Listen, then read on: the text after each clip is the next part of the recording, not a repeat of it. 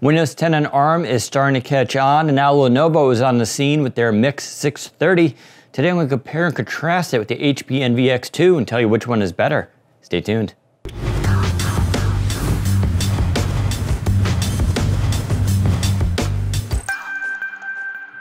Right, before we get started, don't adjust your set. If the Lenovo Miix 630 looks a lot like the HP Envy X2 to you, well, that's not coincidence. And no, Lenovo is not copying HP. What's happening here is Qualcomm had a reference design for this tablet and form factor, and HP and Lenovo both made their own iterations of it basically tidying it up and adding their own little flair to it. So yes, this device is very similar to the X2, but Lenovo has done a few little tricks here to make it their own, and I kind of like some of the decisions they made, although not all of it is perfect either. Here it is, the Lenovo Miix 630. It has that usual leather folio keyboard combination, which comes in the box. Very minimalist logo here, as you can see with Lenovo's uh, lettering on the side. Uh, you can barely see that. Other than that, there's nothing else on this.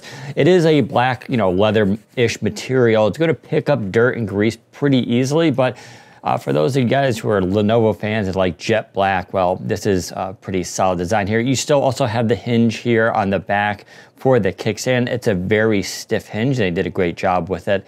And it's a little bit more muted than HP's, but uh, overall works pretty well. All right, opening up the device, you get your familiar 12.3 inch display. This is gonna be full HD plus 1920 by 1280 is IPS. Again, a similar display to HP's, although I will say the blacks are a little bit deeper on this device, which blends in nicely with those bezels. And yes, those bezels are a little bit thicker. Again, reference design device here. They haven't changed up too much here, but if you're gonna hold this device a lot, those bezels work out pretty well. Um, I don't have a problem with it, but it is this design. You do, though, on top here have a 5 megapixel front facing camera, dual IR Windows Hello. That's actually an improvement over HP, who's using a single IR camera, and it actually does make a difference. I find the Windows Hello on here just a tad faster, a little bit more reliable than HP's. In terms of screen brightness, Lenovo is citing around 400 nits, and I would say it's pretty accurate. It gets very bright outside, and you shouldn't have any issues. It is a glossy display, though, so you will get some reflection, but overall, very good display, very happy with it. When it comes to speakers, you get two of them. They are on the side here. This is an all metal unibody design and you can see it's nicely cut. I think Lenovo did an excellent job in terms of the machining of this device. It just feels really solid. And it feels a little bit different than HP's, which is also metal, but this one has got a lot, lot more angles to it.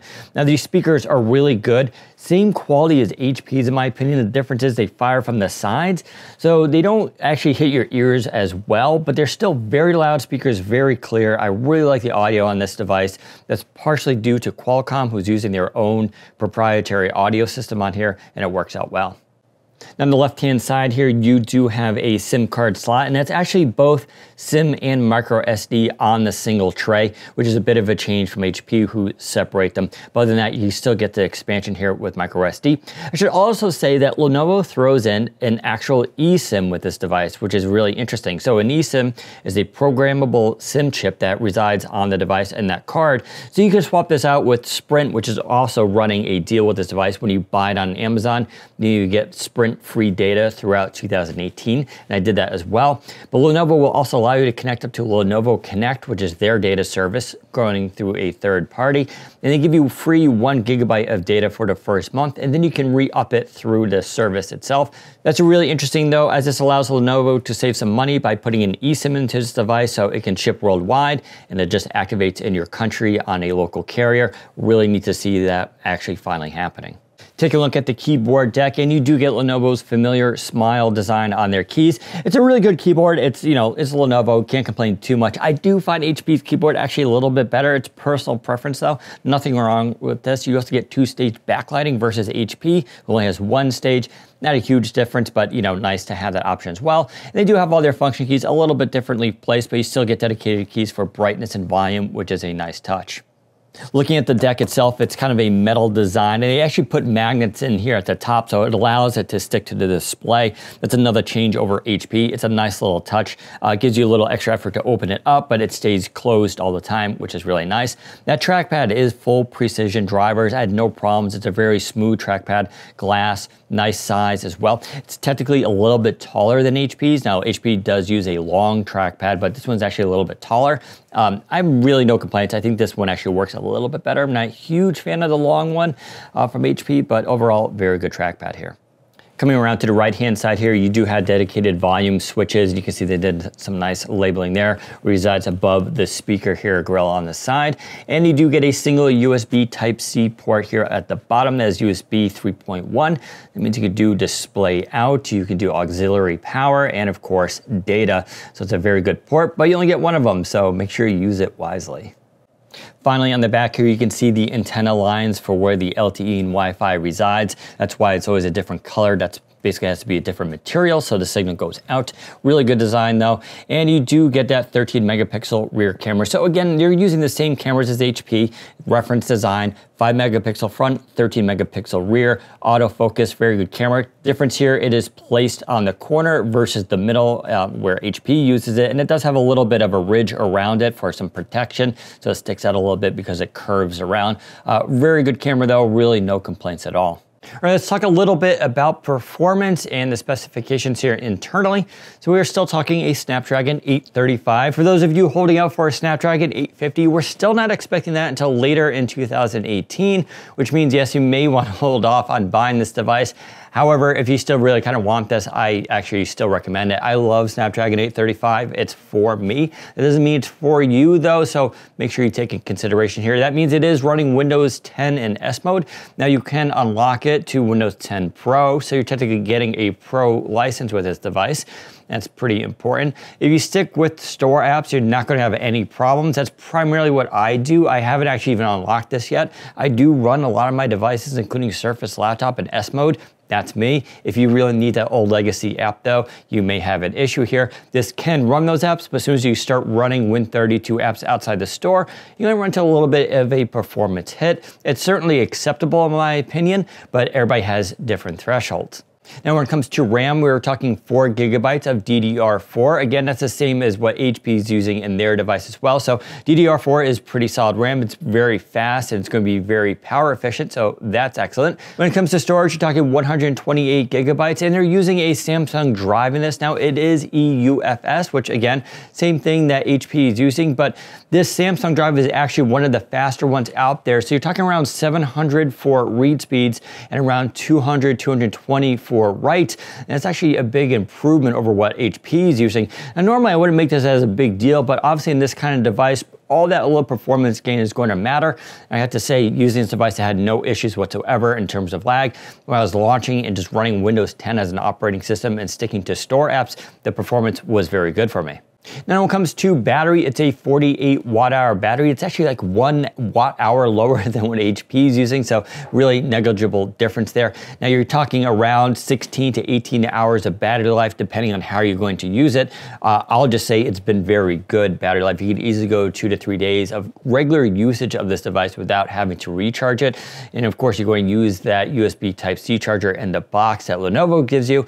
It's a really nice size charger as well and gets the job done, but you can use any Type-C charger you want with this, including one that goes up to 100 watts for very fast charging. When it comes to cellular performance, it's very similar to HP. Now I'm using the Sprint data sim with this device at the time, and I haven't used Sprint in many years, but I've actually been pretty happy with it. The upload speeds are not as good as AT&T, at least where I am, but download speeds have been very good. I'm hitting between 60 and 80 megabits per second downloads, and that's only around three bars, so it gets very good speed and that's one thing I really love with these Qualcomm chips is you're gonna get very good LTE performance. You still, of course, get that instant on ability too, meaning I can leave this device off, you know, off for five days and come up to it, hit that power button, it's gonna turn on instantly.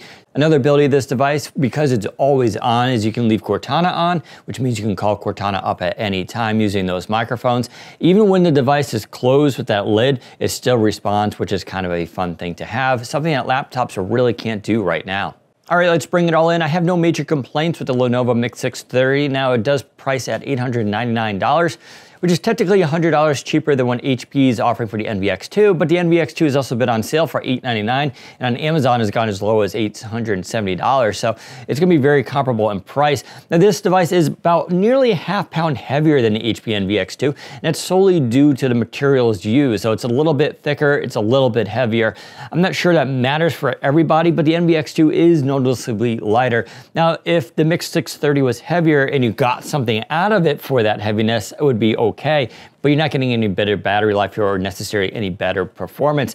Now, I do like some things that Lenovo has done here. That dual IR camera works better than HP's. The storage is a little bit faster as well. The keyboard's pretty good. I do prefer HP's as well, but this is really just personal preference. Everything about this device, though, is really nice. You do get a pen in the box, too. It's an active pen. Again, very nice. Matches what HP is offering here. So I believe it's around 2048 levels of pressure sensitivity. I had no issues drawing with it, though and it's just a really good deal. You're getting all that in the box. Now, obviously, the elephant in the room here is going to be Surface Go, which is just announced recently, and a lot of people will compare the price there. But don't forget, Surface Go has half the storage, at least at that 399 model, and it's not going to be as good performance. It's eMMC, so it's going to be a little bit less in performance there. You're also not getting the keyboard. You're also not going to get a pen. You're also not getting LTE. You're also not going to get instant on abilities, and you're going to get much shorter battery life. I think performance for store apps is going to be very similar between these devices, but where the Surface Go will beat out these devices is when you start using apps outside the store,